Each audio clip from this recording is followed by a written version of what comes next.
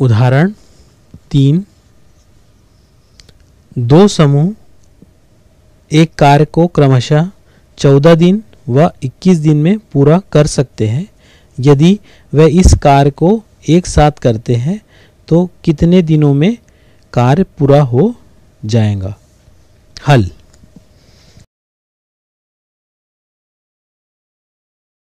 पहले समूह द्वारा चौदह दिनों चौदह दिनों में किया किया गया कार्य।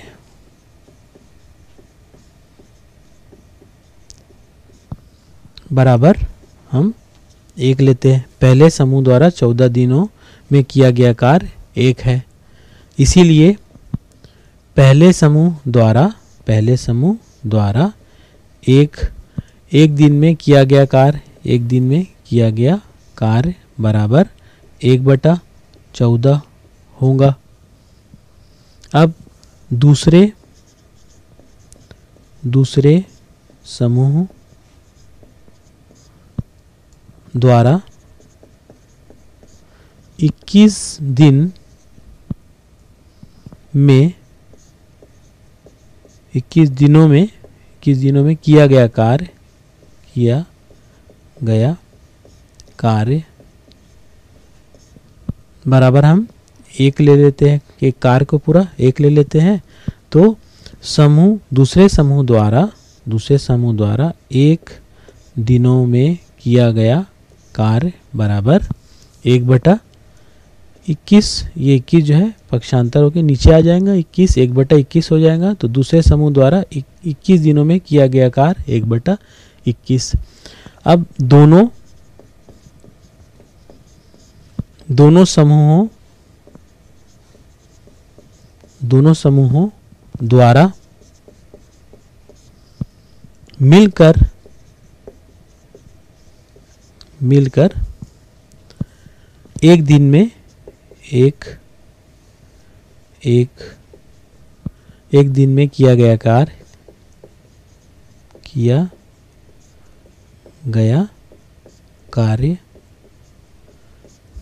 बराबर।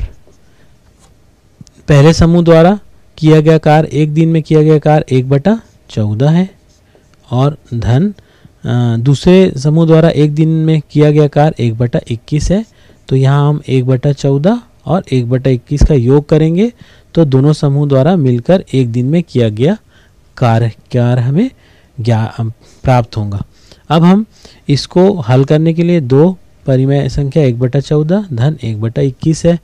तब हम इसे चौदह और इक्कीस का लघुत्तम समापर्तक निकालेंगे तो लघुत्तम समापर्तक अपना बयालीस आएगा।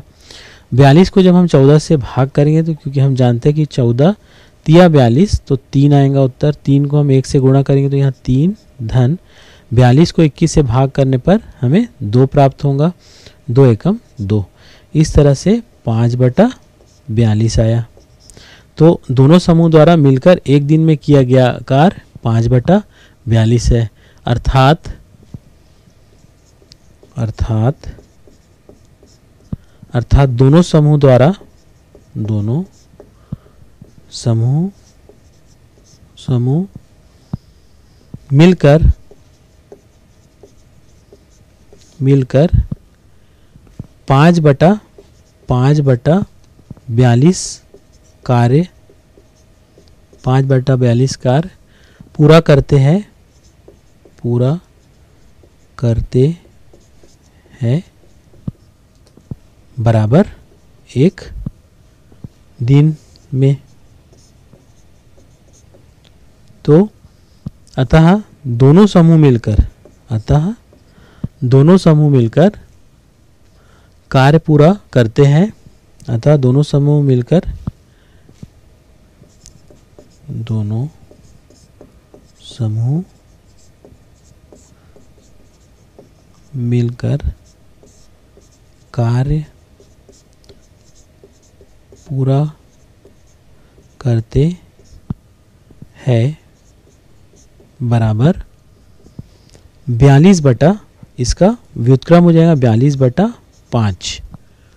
बराबर, जब हम इसको मिश्र भिन्न में लिखेंगे तो पाँच, अट्ठे, चालीस और दो।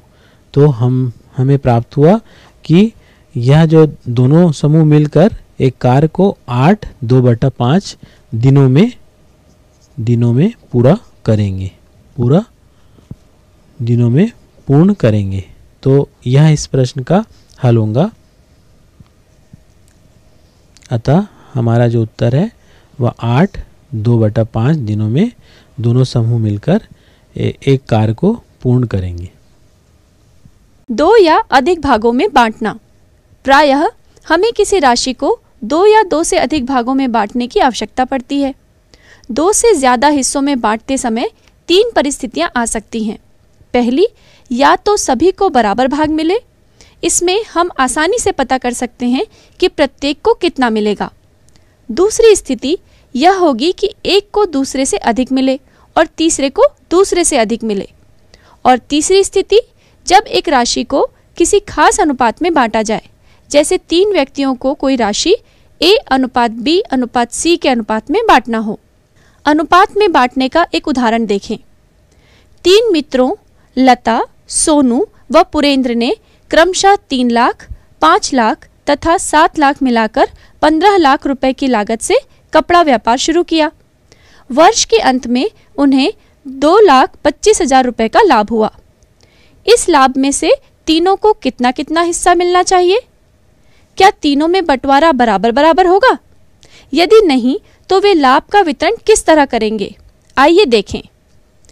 चूँकि व्यवसाय में तीनों के द्वारा दी गई राशि अलग अलग है, अतः वे तीनों लागत के अनुपात में ही लाभ को बांटना चाहेंगे। तीनों के लागत का अनुपात तीन अनुपात पाँच अनुपात सात है। अतः उन्हें प्राप्त कुल लाभ का तीन के, पाँच के व सात के हिस्सा मिलेगा। अर्थात तीन के धन पाँच के धन सात के बराबर दो लाख पच्चीस हज़ार, यानी कि पंद्रह के बराबर दो लाख पच्चीस हज़ार। हल करने पर के बराबर दो लाख पच्चीस हज़ार बटे पंद्रह, जिससे के का मान मिलेगा पंद्रह हज़ार। अतः व्यवसाय में हुए लाभ में लता का हिस्सा तीन के अर्थात पैंतालीस हज़ार रुपये। सोनू का हिस्सा पाँच के अर्थात पचहत्तर हज़ार रुपये। तथा पुरेंद्र का हिस्सा सात के अर्थात एक लाख पाँच हज़ार रुपये। सोचें एवं चर्चा करें। निम्नलिखित तीनों स्थितियों में बांटने की प्रक्रिया क्या होगी? पहला, जब सभी को बराबर मिले। दूसरा, जब एक को दूसरे से दस अधिक मिले। तीसरा, जब एक को किसी खास अनुपात में मिले।